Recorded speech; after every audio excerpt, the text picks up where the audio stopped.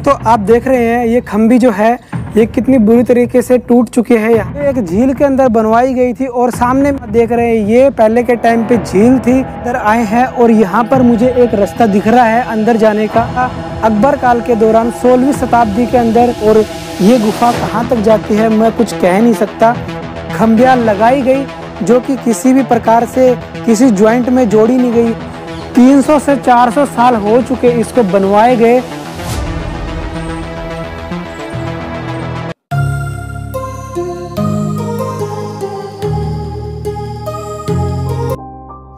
Hello दोस्तों, नमस्कार, मैं दीपक और आज मैं आपको एक फिर से एक ऐतिहासिक जगह पर लेकर आया हूँ। जी हाँ मैं एक ऐसी जगह पर आपको लेकर आया हूँ जो कि हमें इतिहास से जुड़ने पर मजबूर करती है, क्योंकि इतिहास की बहुत सी ऐसी इमारतें हैं जो कि समय के साथ साथ में खंडर नुमा होती जा रही है और इसी का सबूत मैं आपको दिखाने वाला हूँ कि समय की जो थपेड़े लगकर ये जो मेरे सामने आप छतरी नुमा देख रहे हैं ये सोलहवीं सदी की शताब्दी की एक ऐतिहासिक इमारत है और आज हम इसको एक्सप्लोर करेंगे अच्छे से कि ये किस समय में बनाई गई थी और किसके द्वारा ये बनवाई गई थी और यह पर्पज क्या था बनवाने का। ये सब आप बातें जानेंगे इस वीडियो के अंदर। दोस्तों, इस इमारत के ऊपर यूट्यूब के इतिहास के अंदर आज तक कोई व्लॉगिंग नहीं की गई है, ना ही इसको कभी दिखाया गया है। यहाँ तक कि इंटरनेट पर भी इसका वर्णन आपको अच्छे से नहीं मिलेगा को, और मैं आज आपको अच्छे से इसको दिखाऊँगा और इसको एक्सप्लोर करूँगा। तो चलिए शुरू करते हैं वीडियो को और ऐसी जगह को देखते हैं जो कि आपसे और हमसे है बहुत दूर।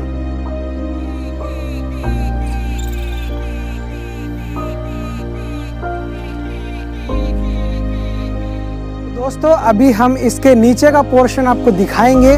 कि इसके नीचे भी अभी काफ़ी कमरे नुमा जो बने हुए हैं, आप मेरे पीछे देख रहे हैं, ये जो बने हुए हैं जरों के दोनों तरफ़ से, अभी इसमें स्थानीय निवासियों द्वारा अभी इसमें तूड़ा भर दिया गया है, जो कि गाय भैंसों का जो खाने का चारा होता है, उसको रखा गया है, और इसमें अभी प्रशासन का कोई ध्यान नहीं है, और अभी मैं आपको दिखाना चाहता हूँ कि इसके अंदर पूरा जो काफ़ी कमरे बने हुए हैं, ये जो आप कमरा देख रहे हैं, ये बिल्कुल टूट सा गया है अंदर से। आप देख रहे हैं कि इसमें सिल्लियों का, पुराने टाइम पे कितनी भारी भारी सिल्लियों का प्रयोग किया गया है और ये जो आप पूरा देख रहे हैं, ये पूरा चूने पत्थर से बनाया गया है और काफ़ी मज़बूत ये लग रहा है दिखने में, लेकिन समय के थपेड़ों ने इसको भी तोड़ दिया है। और आप अंदर देख सकते हैं जो अभी आगे इस दीवार का अलग से पोर्शन निकल चुका है, क्योंकि ये टूट चुका है और अभी हम अंदर चलेंगे इसके और पूरी अंदर का सीन दिखाएँगे। दोस्तों, अभी हम इसके लेफ़्ट पोर्शन के अंदर आए हैं और यहाँ पर मुझे एक रास्ता दिख रहा है अंदर जाने का। इसका स्पेशल कोई रास्ता नहीं है। यहाँ से जो झरोका दिख रहा है, ये टूटा हुआ है और अभी इसके अंदर अपन चलेंगे और अंदर देखेंगे एक्सप्लोर करेंगे कि अंदर क्या है इसके। तो अभी साथ चलिए मेरे दोस्तों, इसके अंदर आने के बाद आप देख सकते हैं कि ये पत्थरों का इस्तेमाल इसके अंदर किया गया है और ये नीचे करने के बाद हमें ये दिखेगा पूरा जो हबी, जिस गेट से हम आए हैं, उसी तरह से एक पोर्शन और इसके बाद में हम देख सकते हैं कि पत्थर अभी बिल्कुल टूट फूट चुके हैं और इनमें जो चूना पत्थर था वो निकल चुका है और इसके ऊपर की बात करें तो इसको बड़ी बारीकी से बनाया गया है और जो चौकोर डिज़ाइन में आपको दिख रहा है ये शेप, इसको बड़ी ध्यान में रखकर बनाया गया है कि बड़ी बड़ी सिलियाँ इस पर रख के बनाई गई है इस तरफ़। और हम इस तरफ़ की बात करते हैं तो दोस्तों, यहाँ पर छोटी ईंटों का इस्तेमाल किया गया है, जो आप देख सकते हैं, ये छोटी ईट है, और पहले के ज़माने में भी ये ईंटों का, इनका प्रयोग हुआ करता था, जो आप ऊपर देख सकते हैं, ये ईंट घस चुकी है, काफ़ी पतली ईट दिख रही है, लेकिन दिखने से ये काफ़ी मज़बूत लग रही है, लेकिन फिर भी अभी ये टाइम के साथ साथ में काफ़ी टूट फूट चुकी है तो अभी हम आगे देखते हैं कि हमें आगे क्या देखने को मिलता है इसके अंदर, और अभी आगे देखते हैं इसको ये आप ऊपर देख सकते हैं। मेरे आगे आके एक बार ये छोटी ईटों का प्रयोग भी ये घूमट से बनाई गई है। इस घूमट में प्रयोग किया गया है। देख सकते हैं आप कितनी अच्छी तरीके से इसमें प्रयोग किया गया है इन छोटी ईंटों का हर जगह पे। और इसके सामने ये आले नुमा बनाया गया है जो कि ये मुझे लगता है कोई आ, कुछ चीज़ें रखने का काम आता होगा। और इसमें एक मुझे कुछ चीज़ दिख रही है जो इसके बीच में ये एक गोल छेद नज़र आ रहे हैं मेरे को। दो, ये किस किस पर्पज से बनाए गए हैं? लेकिन इस, ये बड़ा कोई टेक्निक होगी, तभी ये बनाए गए हैं और इसके साइड में अपन नीचे देख सकते हैं गुफा, नुमा। इसके नीचे अपन देख सकते हैं गुफा बिल्कुल। देखिए एक बार ये गुफा ये गुफा कहाँ तक जाती है, कुछ कह नहीं सकते, क्योंकि यहाँ पर नारनौल के अंदर काफ़ी इमारतें ऐसी है जो कि जिनके नीचे अंडरग्राउंड गुफाएँ हैं। ले सकते हैं बीरबल का छत्ता उसके अंदर भी ऐसे ही गुफाएँ हैं और ये गुफा कहाँ तक जाती है मैं कुछ कह नहीं सकता। तो इसके अंदर जाएँगे नहीं हम। और इसके बाद हम चलते हैं राइट वाले पोर्शन के अंदर। उस तरफ़ भी चलकर देखेंगे कि वहाँ पर हमें क्या देखने को मिलता है।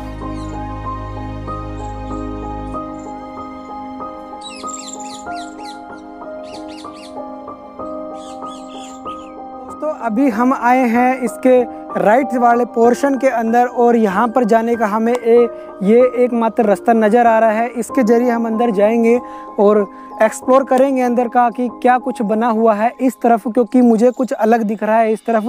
वो अभी आपको हम दिखाएँगे अंदर चलकर। तो आइए साथ चलते हैं। तो अंदर आने के बाद मैं आपको दिखाना चाहता हूँ कि यहाँ पर कितना टूट फूट हो चुकी है। ये जो ईट है ये आप देख सकते हैं। ये बिल्कुल घस चुकी है, जो इसके अंदर चूना पत्थर था, वो बिल्कुल निकल चुका है और ये कभी भी गिर सकती है। आप देख रहे हैं, ऊपर ये यहाँ से टूट चुकी है और यहाँ पे जो छत थी, वो नीचे गिर चुकी है किसी टाइम में। ये कब गिरी और कैसे गिरी कुछ पता नहीं है, लेकिन बहुत ही ख़राब हालत में ये इमारत है। जो पत्थर है बड़े बड़े इतनी मेहनत के साथ में इसको बनाया गया था और आप देख सकते हैं, पास में आकर एक बार कि इसका चूना जो है पत्थर का बिल्कुल निकल चुका है, कितने अंदर तक धस चुका है।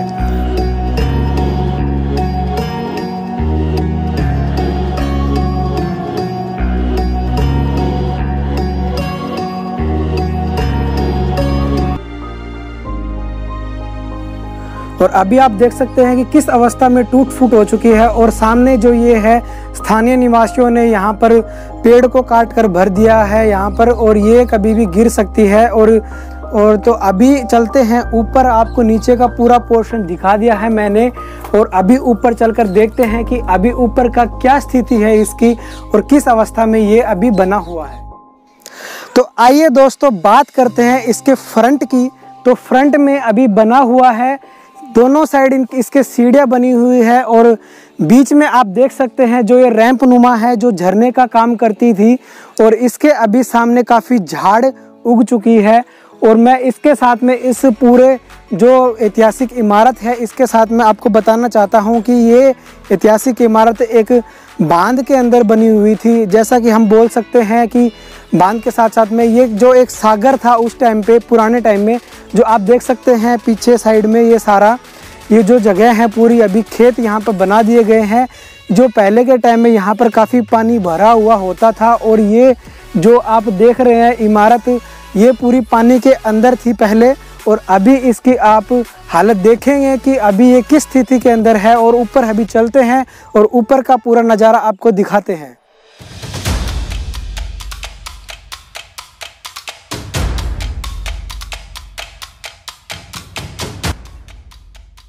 दोस्तों, जो आप मेरे पीछे देख रहे हैं, ऊपर आने के बाद में ये छतरी नुमा, इसको बोला जाता है बरादरी। जी हाँ बरादरी इसको इसलिए बोला जाता है क्योंकि इसके राइट वाले पोर्शन में चार खम्बियाँ बनी हुई है और लेफ़्ट में चार खम्बियाँ है और बीच में इसके चार है। तो कुल मिलाकर इसमें बारह खम्बियाँ बनाई गई है। इसी हिसाब से इसको बोला जाता है बरादरी की छतरी। इसको बनवाया गया था अकबर काल के दौरान सोलहवीं शताब्दी के अंदर मिर्ज़ा खलील द्वारा, क्योंकि इसका मिर्ज़ा खलील को यहाँ पर मिर्ज़ा ए जामा का पद मिला हुआ था और उन्होंने यह जो छतरी बनवाई थी ये एक झील के अंदर बनवाई गई थी और सामने मेरे आप देख रहे हैं इस तरफ़, ये सामने जो भांद नुमा देख रहे हैं, ये पहले के टाइम पे झील थी और इस झील का नाम खलील सागर रखा गया क्योंकि जिसने ये झील का निर्माण करवाया था और ये जिसने छतरी का निर्माण करवाया था, उनका नाम मिर्ज़ा खलील था और उन्हीं के नाम पर ये खलील सागर झील का इनका नाम पड़ा और इस खलील सागर झील के अंदर ही ये छतरी बनवाई गई और इसको अब बोला जाता है खलील सागर की बरादरी। जी हाँ इसको बोला जाता है खलील सागर की बरादरी, जो कि है नारनौल के, नारनौल पड़ता है महेंद्रगढ़ डिस्ट्रिक्ट में हरियाणा के अंदर। और आप देख रहे हैं ये छतरी और इसको बिल्कुल बारीकी से एक्सप्लोर करेंगे। आप पास चल के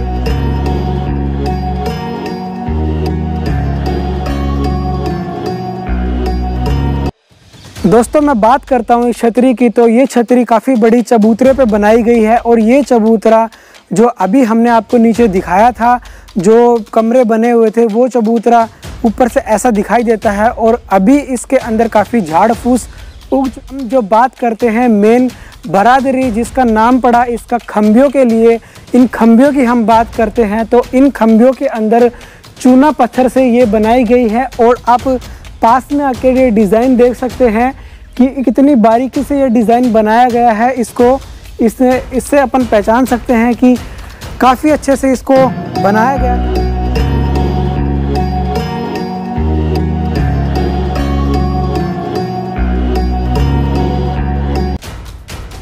और इस तरफ़ आप देख सकते हैं इन खम्भियों का एक अद्भुत नज़ारा, क्योंकि इसको पहले एक पत्थर से रखा गया काफ़ी बड़ा पत्थर लाया गया, इसको रखा गया। उसके ऊपर दो खम्बियाँ लगाई गई, जो कि किसी भी प्रकार से किसी जॉइंट में जोड़ी नहीं गई है। सिर्फ़ पत्थर के ऊपर पत्थर रखकर ही बनाई गई है और उसके ऊपर ऐसे ये छतरी बनाई गई है। और मुझे लगता है आसपास के एरिया के अंदर सबसे बड़ी छतरी यही है, क्योंकि काफ़ी विशाल छतरी ये बनाई गई है और अंदर आकर हमें पता चलता है कि यहाँ पर पूरी टोटल 12 खम्बियाँ लगाई गई है और काफ़ी मजबूती से बनाया गया है।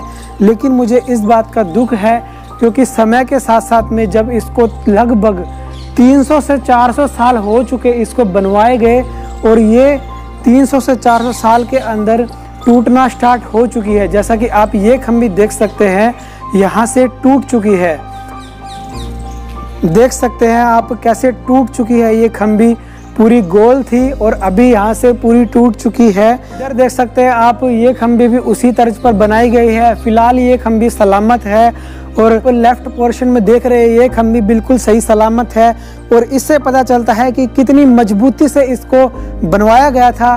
तो ये जो खम्बी बनाई गई है, काफ़ी मोटी बनाई गई है और हम बात करते हैं, जब इसके ऊपर की तरफ़ देखते हैं तो हमें काफ़ी खूबसूरत नज़ारा नज़र आता है।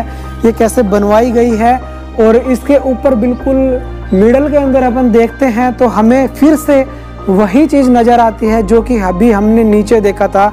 जी हाँ ईंटें, जो छोटी छोटी ईंटें हैं, वो हम इसको देख सकते हैं कि किस तरीके से इसको बनवाया गया ईंटों के द्वारा और साथ में चूना पत्थर के साथ में बनवाया गया और अपन देख सकते हैं 300 से 400 साल इसको हो चुके हैं और अभी तक ये टिकी हुई है। बस वो थोड़ा सा इसका जो खम्बिया है, वो टूट चुकी है। बाकी बिल्कुल सही सलामत है। पाल बना हुआ है जो कि यहाँ पर जो झील थी, उसके पानी को रोकने का काम करता था और इस तरफ़ भी एक पाल बनाया हुआ है। काफ़ी मोटी दीवारें बनाई गई है, वो भी पानी रोकने का काम करती थी। और इसके साइड में ये पाल बनाया हुआ है, देखिए, ये जो सीन सारा है, ये उस खलील सागर का सीन है। यहाँ पर पानी भरा हुआ करता था पहले के टाइम पर, अभी ये सूख चुका है और यहाँ पर खेत बना दिए गए हैं और पानी को रोकने के लिए ये पाल बनाया गया था और इस पाल के बीच में ये छतरी बनाई गई थी और जो कि आप देख सकते हैं। दोस्तों, आप देख रहे हैं ये खम्बी जो है, ये कितनी बुरी तरीके से टूट चुकी है यहाँ पे और कभी भी गिर सकती है। अगर इस पर ध्यान नहीं दिया गया तो कुछ समय बाद ये गिर भी सकती है, इस अवस्था के अंदर है। और ये डिज़ाइन देख रहे हैं आप, इस खंभे के ऊपर यहाँ पर। और ये कितनी खूबसूरत बनाई गई है छतरी, काफ़ी बड़ी छतरी बनाई गई है। ये भरी बातें आप देख सकते हैं। और इसका ऊपर का पोर्शन और ये पूरी छतरी का नज़ारा कितना खूबसूरत लग रहा है यहाँ से।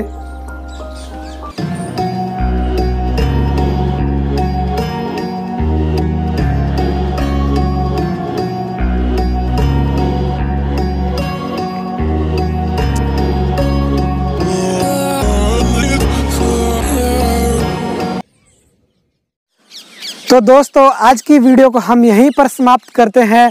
जो मेरे पीछे आप देख रहे हैं, बरादरी की छतरी, इसको हमने अच्छे से एक्सप्लोर किया और आपको दिखाया कि अभी यह किस अवस्था के अंदर है और हमारी ये वीडियो बाकी वीडियो की तरह काफ़ी अच्छी रही और इस वीडियो के अंदर मेरा जो साथ दिया है, मेरे कैमरा पर्सन यमन सैनी ने और काफ़ी अच्छी ये वीडियो रही। ऐसे ही वीडियो देखने के लिए हमारे चैनल को सब्सक्राइब करें और साथ ही वीडियो को लाइक करें और साथ ही वीडियो को शेयर करें ज़्यादा से ज़्यादा ताकि हमें ऐसे ही मोटिवेशन मिले। ऐसे ही हम आपके लिए ऐसी अच्छी वीडियो लेकर आते रहे। तब तक के लिए जय हिंद, जय भारत।